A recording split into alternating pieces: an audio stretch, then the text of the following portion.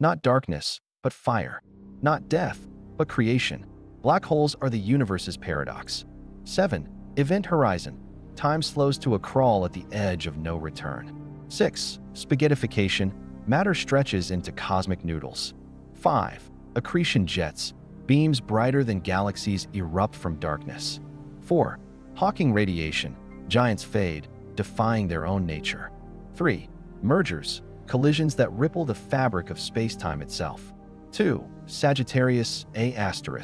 Our galaxy's hidden giant, lurking in plain sight. 1. Primordial black holes. Ancient relics, born in the Big Bang's fury. Black holes don't just swallow light, they bend reality. They're not voids, but cosmic engines of unimaginable power. Stay for the strangest paradox in science how emptiness becomes everything.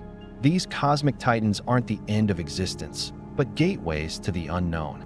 Black holes aren't emptiness, they are the universe's ultimate mystery, waiting to be unraveled.